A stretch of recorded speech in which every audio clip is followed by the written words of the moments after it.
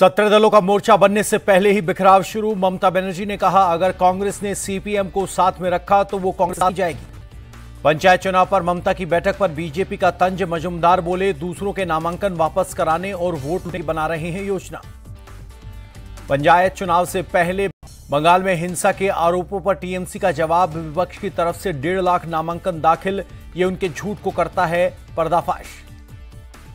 बंगाल में एनआईए की एफआईआर से बड़ा खुलासा, अवैध बम बनाना, राज्य में कुटीर उद्योग बना, निर्दोष लोगों की जा रही है जान।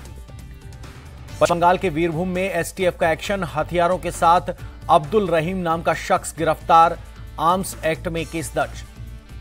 पंचायत चुनाव में केंद्रीय बलों की तैनाती का मामला, कोर्ट के आदेश को चुनौती देने सुप्रीम कोर्ट पहुँचा राज्य चुनाव आयोग।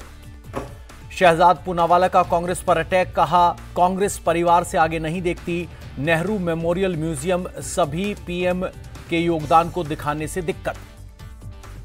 बीजेपी सांसद सुशील मोदी बोले, पहले केवल नेहरू पर का केंद्र सरकार पर निशाना कहा यह इतिहास मिटाना चाहते हैं।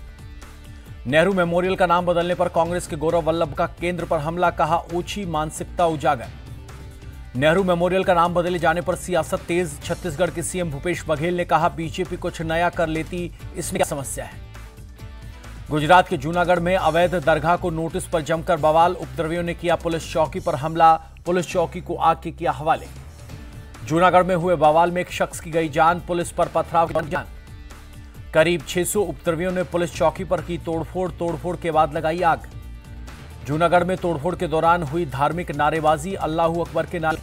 जूनागढ़ में दंगे के आरोप में एक सौ चौहत्तर लोगों को किया गया। आगे की कार्रवाई में जुटी है पुलिस। जूनागढ़ हिंसा पर संजय राउत का बयान, कहा, वहाँ की सरकार को देखना चाहिए, ये तो प्रधानमंत्री और गृह मंत्री का होम स्टेट है। अमेरिका में पीएम मोदी की यात्रा से पहले स्वागत को जोरदार तैयारी 24 जून तक होगी अमेरिका यात्रा, अमेरिकी सांसद को दूसरी बार संबोधित करेंगे पीएम मोदी। अमेरिका में पीएम मोदी का इंतज़ार कर रहे प्रशंसक, मैरीलैंड में एक फ़ैन ने अपनी कार पर लिखवाया एन मोदी। फ़ैन राघविंदर ने कहा कि नरेंद्र मोदी मेरे लिए प्रेरणा, आज दुनिया के प्रति अच्छा करने के लिए करते हैं प्रेरित। दिल्ली में केंद्रीय मंत्री मीनाक्षी लेखी ने किया योग 21 जून को योग दिवस से पहले योग सत्र में लिया हिस्सा। योगा डे को लेकर बोली केंद्रीय मंत्री मीनाक्षी लेखी, पीएम मोदी ने यूएन से की थी घोषणा, पूरी दुनिया ने किया स्वीकार। श्रीनगर में एसएसबी ने किया योग सत्र का आयोजन, सभी जवानों ने एक साथ किया योग 21 जून को वर्ल्ड योगा डे। एसएसबी के डीआईजी बोले, योग हमारे जीवन में महत्वपूर्ण योग की मदद से दूर कर सकते हैं तनाव और बीमारियाँ। अस्पताल में घायलों से की मुलाकात। गांधीनगर में हुई चक्रवाती बाद दिख रहा है। भुज के बंद पड़े नलिया हाईवे को खोला गया। तूफ़ान से हाईवे पर गिरे थे नीलगिरी के सैकड़ों पेड़। गुजरात के मांडवी में चक्रवात बिपरजॉय के बाद तेज आंधी कई इलाकों में हुआ जल भराव। मांडवी का बिपरजॉय का असर, सड़कों पर गिरे बिजली के खंभे जताई खुशी। गुजरात में तूफ़ान से उफान पर सरस्वती नदी, बनासकांठा में देव मंदिर के आसपास बाढ़ जैसे हालात। मणिपुर में एक बार फिर भड़की हिंसा, उपद्रवियों ने बीजेपी दफ्तर पर किया हमला, जमकर की तोड़फोड़। बीजेपी ने टीएमसी कार्यकर्ता के कबूलनामे का वीडियो शेयर किया, कहा टीएमसी विधायक के इशारे पर विपक्षी कार्यकर्ताओं पर किया था हमला।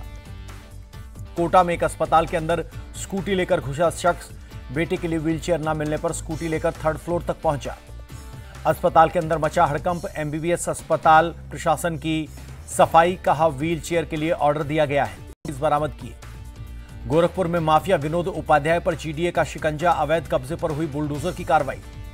देहरादून के शहर काजी का पंचायत को लेकर बयान, कहा इसके ज़रिए अपनी बात रखना चाहते थे, सीएम ने दिया आश्वासन। देहरादून के काजी ने कहा, पुरोला में ज़बरदस्ती लोगों को उजाड़ा जा रहा है, दंगा करने वालों को कानून के हिसाब से मिले सजा।